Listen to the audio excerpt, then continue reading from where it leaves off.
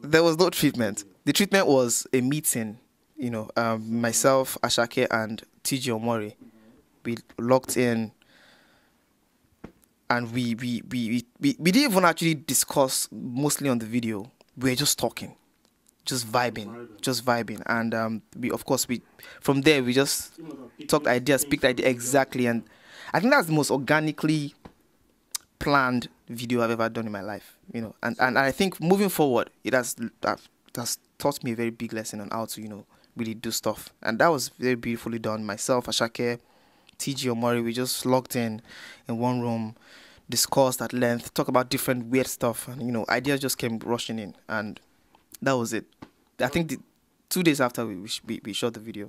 Okay. What about the floating?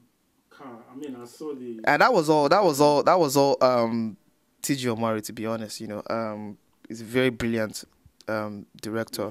Yeah, Yeah. So have, yeah. Have you seen the reaction on, on YouTube? Like, Oh come on! That, that the, the video is is, is is is still like top top two top three trending videos uh, in Africa right now, and, and, and it's amazing.